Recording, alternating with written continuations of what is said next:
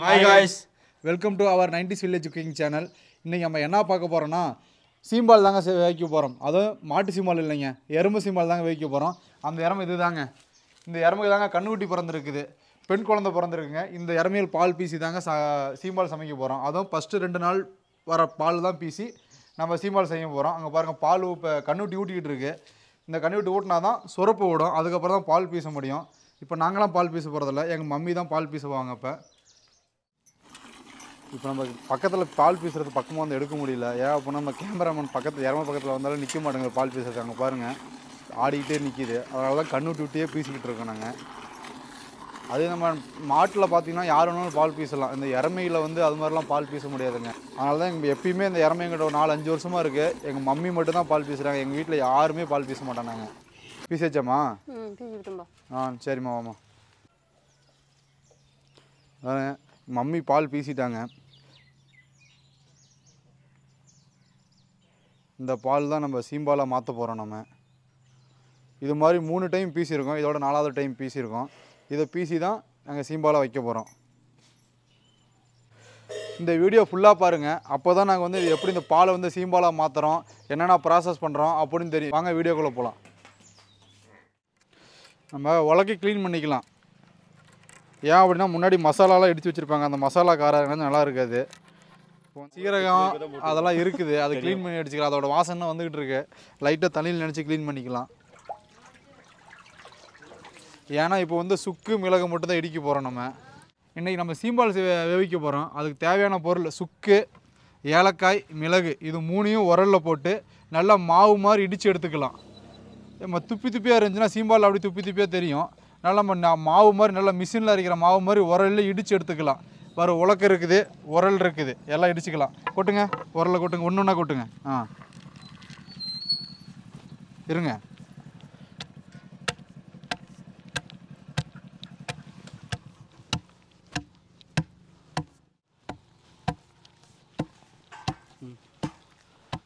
இதுக்கு முன்னாடி உரல் இடிச்சிருக்கீங்களா? இல்லை இதான் ஃபஸ்ட் டைமா பிறந்ததே உரலில் தான். பிறந்ததே உரல்ல தான்? ஏன்னா இடிக்கிற எவ்வளோ நேக்காக இடிக்கிறேன்னு அப்போ கூட தெரியலையா உரல் இடிச்சுக்கிறாங்களோ இல்லையான்னு. பேண்ட் மிக்ஸி பேன் மிக்ஸி இனிமேல் எல்லாரும் வீட்லேயும் உரல்ல போடுங்க. மிக்ஸியை பேன் பண்ணுங்க. நம்மளுக்கு இந்த மிக்ஸி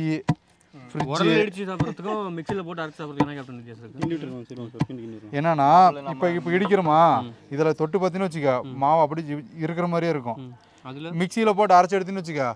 கரும்பகை வரும் இதில் இருந்து. ஹீட் ஆயிருமாப்ல அது ஒரே ரீசன் மிக்ஸியில் போட்டு அரை- அதனால ஆ, அந்த ஹீட்னால இந்த மசாவோட quality குறைஞ்சிரும். வாய்ப்பு நிறைய இருக்காமா உண்மையாலுமே சொல்றேன். நாங்க வந்து எங்க வீட்ல மிக்ஸி இல்லைன்னு பொய்லாம் சொல்லல. உண்மையாலுமே சொல்றேன். மிக்ஸி இது வரைக்கும் நாங்க யூஸ் பண்றதே கிடையாது வீட்ல.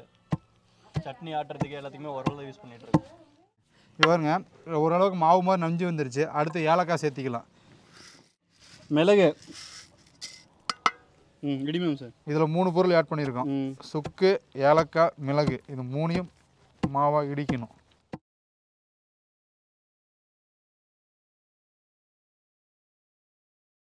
எல்லாம் ஒரு மூணையும் சேர்த்து ஓரளவுக்கு இடிச்சாச்சு.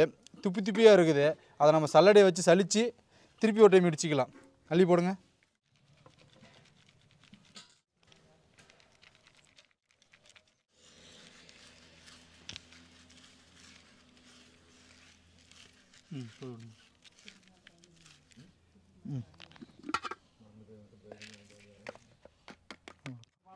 ஒரு டைம் இடித்து சலிச்சாச்சு அந்த இடித்து சலிச்சு துப்பி துப்பியாக இருக்கிறது இன்னொரு டைம் இடித்து கொட்டி இடிச்சிக்கலாம்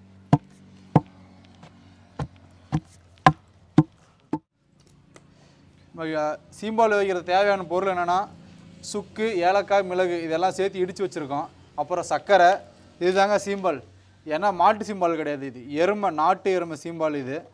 இதுக்காக நாங்கள் ரெண்டு வருஷம் நாங்கள் வெயிட் பண்ணியிருக்கோம் நாங்கள் அதனால் இது என்ன தான் நம்ம சமைச்சாலுமே இதை வேவிக்கிறதுக்கு நமக்கு ஒரு பதம் வேணும். அந்த பதம் வந்து எங்கள் அம்மாவுக்கு மட்டும்தான் தெரியும். எங்களுக்கு தெரியும் அதனால் நீங்கள் எங்கள் வீடியோ எங்கள் அம்மா வந்திருக்காங்க. எங்கள் அம்மா சொல்கிற மாதிரி தான் இன்றைக்கி இதை சமைக்க போகிறோம் ஃபஸ்ட்டு சர்க்கரை சேர்த்திக்கலாம்.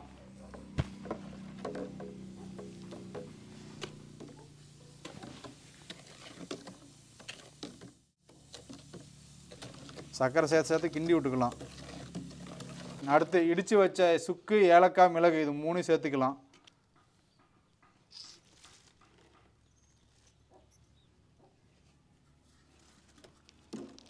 இது சேர்த்து கிண்டிக்கலாம்.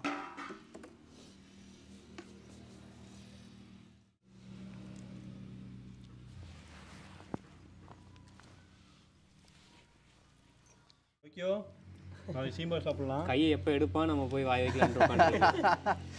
நாளைக்கு ஓகே ஓகே சீம்பால் இவனை கண்ட்ரோல் பண்றது ரொம்ப பெரிய டாஸ்கா இருக்கு.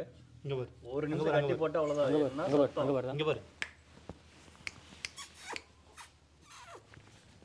டோக்கியோ ஹாய் சொல்லு எல்லாருக்கும். ஹாய் சொல்லு. ஹாய் ஹாய் கடிக்காத. ஹாய் டோக்கியோ நம்ம இது சக்கரை வந்து இன்னும் கரையாமல் இருக்குது கரைக்கும் போது சவுண்டு கேட்குது பார்த்தீங்களா இதை முழுமையாக கரைச்சிக்கணும். இல்லைன்னா கீழே மட்டும் சக்கரை தங்கிரும். மேலே இருக்க பாலுக்கு சுகர் மிக்ஸ் ஆகவே மிக்ஸ் ஆகாது. அப்புறம் நமக்கு முழுமையான சுவையை உணர முடியாது. இதை அவிச்சு எடுத்துக்கிட்டு நல்லா ஆற வச்சு சாப்பிட்டதுக்கப்புறம் தான் முழுமையான சுவையை வந்து உணர முடியும் நம்ம. டோக்கியோ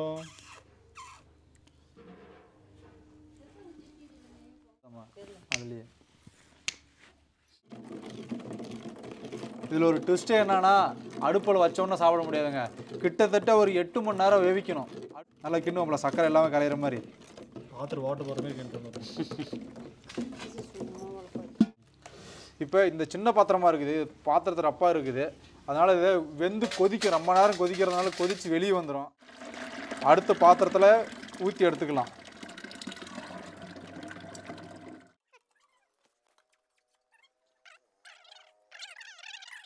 நம்ம சீம்பால் கலக்கின கை இது. இது பாருங்க டோக்கியோ என்ன பண்ணுறோம் நம்ம.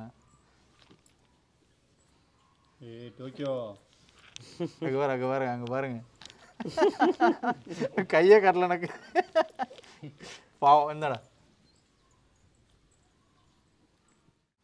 சீம்பால் வேறு பாத்திரத்துக்கு மாற்றி வச்சுங்க இதுக்கு வந்து இது மாதிரி ஒரு வெள்ளை துணி வச்சு கட்டிக்கலாம். எப்படி கட்டிக்கலாம் இது கட்டி இதுக்கு மேலே தான் தட்ட வைக்கணும். ஏன் வெள்ளை துணி வைக்கிறோம்னா கலர் துணி போட்டோம்னு வச்சுக்கோங்களேன் ரொம்ப நேரம் வேவுறதுனால உள்ளார சாயம் இறங்கிரும். அதனால் அது மாதிரி வெள்ளை துணி கட்டிக்கிட்டா அவ்வளோ பெட்டருங்க இது ரெடிங்க சீம்பால் ரெடிங்க வைக்கிறதுக்கு இதுதான் ப்ராசஸ்ஸு அடுத்து அடுப்பு பற்ற வச்சு ரெடி பண்ணிக்கலாம்.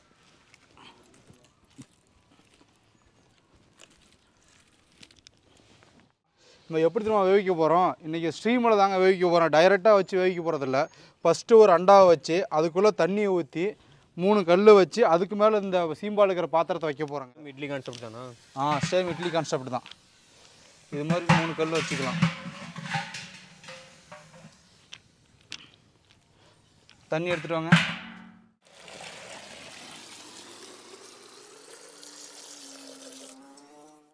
இந்த ஃபஸ்ட்டு ஒரு பாத்திரம் வைக்கிறீங்களா அந்த பாத்திரம்ல இந்த அடுத்து வைக்கிற பாத்திரம் மிதக்கக்கூடாது. அந்த அளவுக்கு தண்ணி ஊற்றிக்கிட்டு நம்ம சீம்பால் வைக்கிற பாத்திரத்தை மூணு கல் மேலே கரெக்டாக அதை வச்சுக்கணும்.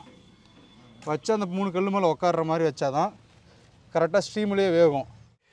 இப்போ வந்து பார்த்தீங்கன்னா சீம்பால் தயாரிக்கிறதுக்கு எல்லா ப்ராசஸுமே முடிஞ்சிச்சு இதுக்கு மேலே ஒரு தட்டத்தை வச்சு மூடி ஆவியை நம்மளால் எவ்வளோ வெளியே கொண்டு வர முடியாத அளவுக்கு நம்ம தட்டத்தை வச்சு ஆவியை உள்ளே அடக்குறோம்.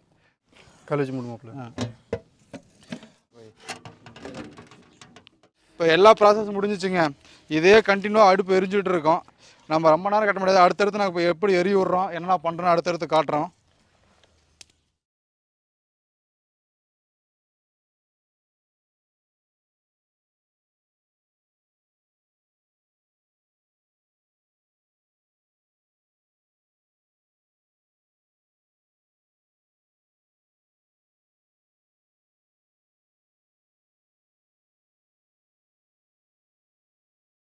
நெருப்பு அடுப்பு ரப்ப நம்பிருச்சுங்க.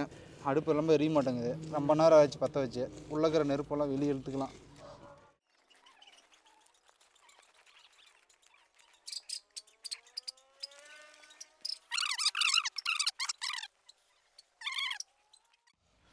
ஆ, இது வந்து பார்த்தீங்கன்னா நேற்று மதியானம் ரெண்டு மணிக்கு வச்சது.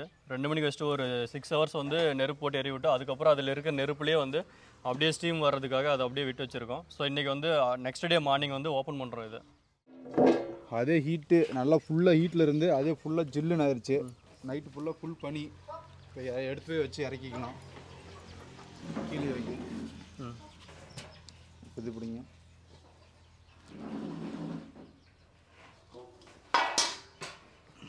இந்த கீழே பாருங்கள் தண்ணி எவ்வளோ தண்ணி இருந்துச்சு வைக்கிறப்ப அவ்வளோ தண்ணி சுண்டுற வரைக்குமே எரி விட்டோம் நாங்கள் அடுப்பு வந்து இது வந்து அழகாக அப்படியே ஓப்பன் பண்ணி பார்க்கலாம். எப்படி நம்மளோட டிஷ் வந்திருக்குன்னு சொல்லி. நம்ம கட்டின துணியெலாம் எப்படி இருக்குது பாருங்களேன் அப்படியே இருக்குது ஃபஸ்ட் டைம் பார்க்க போகிறோம் நம்ம பாரு. நம்ம போட்ட சுக்கு மிளகு ஏலக்காய் எல்லாம் இடித்து போட்டதெல்லாம் மேலாப்பில் இருக்குது அப்படி கத்தி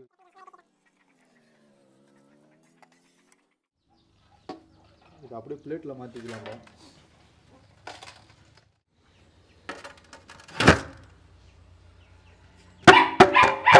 எல்லாம் கீழே சென்டர் சென்டர் கொஞ்சம்.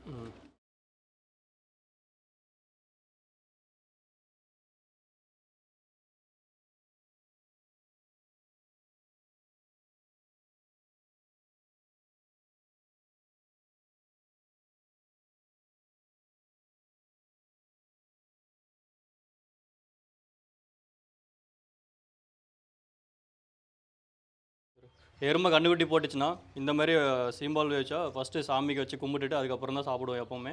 ஸோ அதனால தான் நாங்கள் வந்து பத்தியெல்லாம் பற்ற வச்சு இப்போ சாமி கும்பிட்டு அதுக்கப்புறம் சாப்பிட போகிறோம் இது வந்து எங்களோட பரம்பரை பழக்கம் இப்படி தான் ஒரு ஒரு மா இறம கண்ணு இறமையோ மாடோ கண்ணு போட்டுச்சுன்னா சீம்பாவில் வச்சா சாப்பிட்றதுக்கு முன்னாடி தான் சாமி கும்பிடுவோம். நம்ம ஃபஸ்ட் நம்ம ப்ரே பண்ணிக்கலாம்.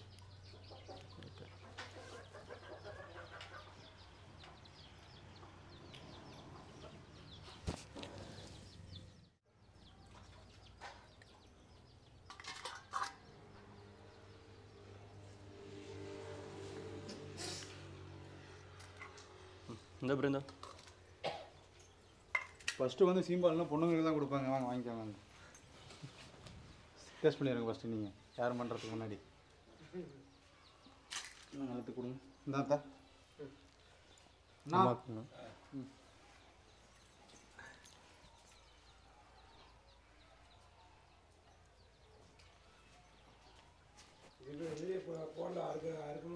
எடுத்தாச்சு.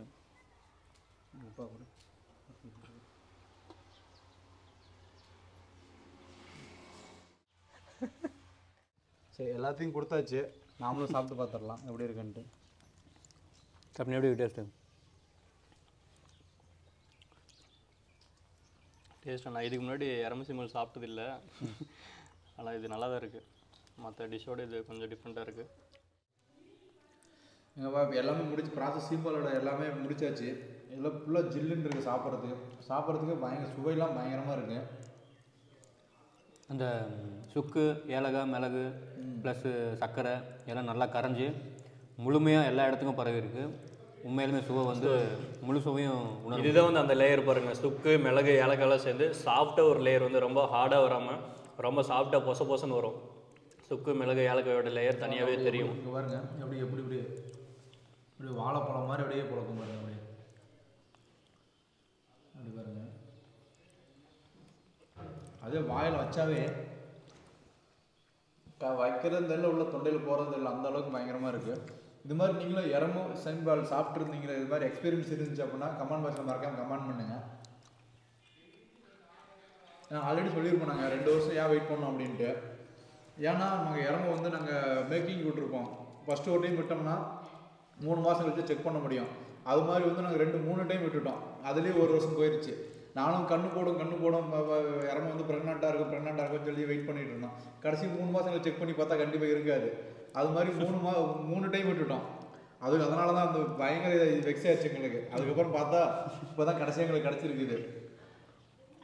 ஆமாங்க. ஒன்ஸ் வந்து மீட்டிங் பண்ணால் மூணு மாதம் கழிச்சு தான் செக் பண்ண முடியும். ப்ரெக்னன்சி வந்து கன்ஃபார்ம் இல்லைன்னு சொல்லிட்டு.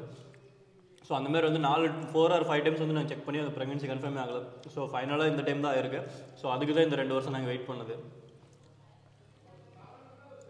ஸோ நீங்களும் இந்த மாதிரி அரம சிம்பால் வந்து சாப்பிட்ருந்தீங்க அப்படின்னா கமெண்ட் பண்ணுங்கள் உங்களோட கமெண்ட் எல்லாமே நாங்கள் படிச்சுட்டு தான் இருக்கோம். ஸோ மறக்காமல் கமெண்ட் பண்ணுங்கள் நம்ம டோக்கியோ வந்திருக்கான். அவனும் கொஞ்சம் கொடுத்துடலாம். சாப்பிட்றோம் பயங்கரமாக சாப்பிடுது. நம்ம செஞ்சு அதுக்கும் பிடிச்சிருக்கு மீண்டும் ஒரு அழகான வீடியோவில் சந்திப்போம். பாய் பாய் பாய் சாமி சார். சாமி சரணம்